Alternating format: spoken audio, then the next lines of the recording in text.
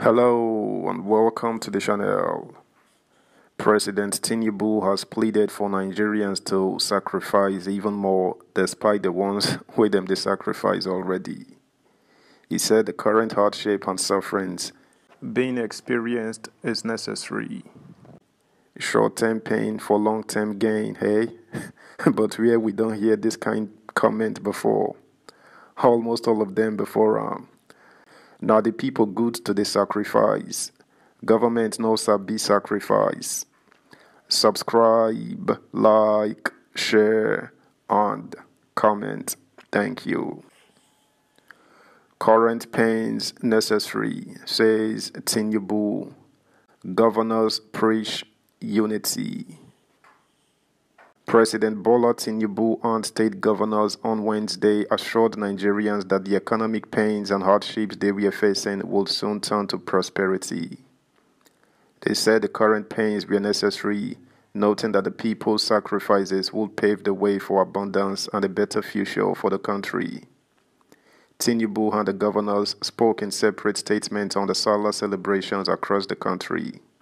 Speaking in Lagos shortly after observing the Eid prayers at the Obalende Muslim prayer ground located near Dodan Barracks, the former seat of power in Lagos, the president said, We have to make the sacrifices, and that is clear. We have to. His message was contained in a statement signed by Special Advisor on Special Duties, Communication and Strategy, Dele Alake. The statement was titled, Nigeria will experience peace, stability, and prosperity. President Tinubu declares at Lagos Eid prayer ground. Tinubu described the current economic hardships as a bearable burden, explaining that Allah will not give you a burden that you cannot carry. Therefore, he urged Nigerians to have faith in God that the country will experience peace, stability, and prosperity. I thank Almighty Allah for keeping us in good health till today and pray to Him to grant us robust health and prosperity. May our sacrifices turn to prosperity. We have to make the sacrifices, and that is clear. But Allah will not give you a burden that you cannot carry. He is there for us. We must have faith in the country, have faith in ourselves, believing that as citizens of this country, we must join hands to build the nation the president said. He called for unity in the country, urging Nigerians not to allow their religious and tribal identities to overshadow their national identity. Tinubu also prayed for Nigerian troops on the front line in the fight against insurgency, saying he desires to see them emerge victorious. Nigeria will see peace, stability, and God will grant peace to those of us at the war front, he added. The Eid prayer, which started at 9 a.m., was led by the Chief Imam of Lagos State, Sheikh Suleiman Abu Nola. The Chief Imam later performed the obligatory slaughtering of the ram at the Eid prayer ground in celebration of the significance of the noble acts of Prophet Ibrahim in total obedience to Allah's command. Speaking on behalf of the Lagos State Governor, Babajide Sanwo-Olu, Deputy Governor Obafemi Hamzat, felicitated Muslims nationwide for the joy of the Eid Kabir celebration, urging them to unite behind the president in his renewed hope agenda. We have to pray for our leaders. We must pray for our president that God should help him to succeed in the task before him, Hamzat said. The prayer was attended by the Chief of Staff to the President, Femi Gbajabiamila, the National Security Advisor, Nuhu Ribadu, a former governor of Lagos State and immediate past Minister of Works and Housing, Mr. Babatunde Fashola, Speaker of the Lagos State House of Assembly, Mudashiru Obasa, among other top government officials and politicians. Meanwhile, governors and clerics have sued for peace and economic prosperity as Muslims converge on prayer grounds. In a solemn message, the Kogi State Governor Yahaya Bello charged the people of the state to be law abiding and security conscious at all times. The governor gave the charge shortly after he observed the Eid prayer at Okene, his country home.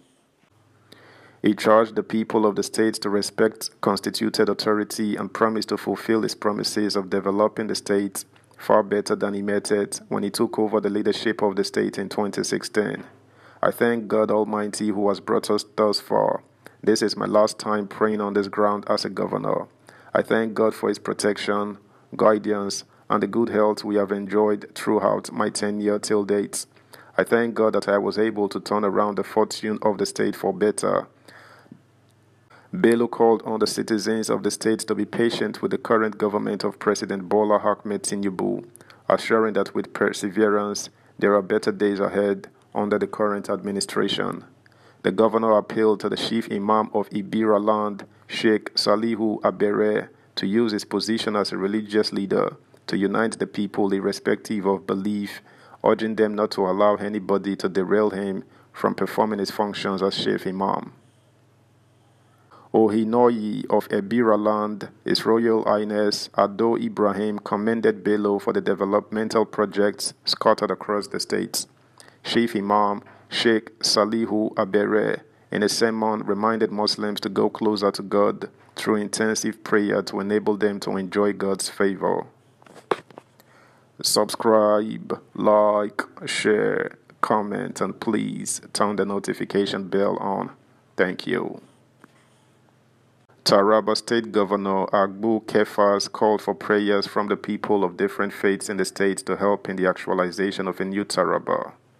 The governor, in a goodwill message to the Muslim faithful in the state on the occasion of the Eid Mubarak celebration, said a new Taraba is feasible if all people of all faiths intensify prayers, exhibit affection, and embrace one another as taught by both Islam and Christianity. In a press statement, signed by the governor's chief press secretary, Mr. Yusuf Sanda. Kefas urged Tarabans and all Nigerians to learn from the season's teachings by being obedient, tolerant, exhibiting love, peace, and sacrifice in creating a new society free from sentiment and division that all citizens will be proud of. In Katsina, the Emir of Katsina, Dr. Abdul Mumin Kabir, joined other Muslims in the state to observe the Eid el-Kabir prayers at the Kofar Guga prayer ground a few minutes after 9 in the morning. Governor Dikko Radda was however absent at the prayer ground although sources said he was not in the country. Security was beefed up at the prayer ground as security operatives mounted a military armored personnel carrier and police anti-bomb vehicles at the entrance of the prayer ground. That's the news, guys. Thanks for listening. Until next time, bye.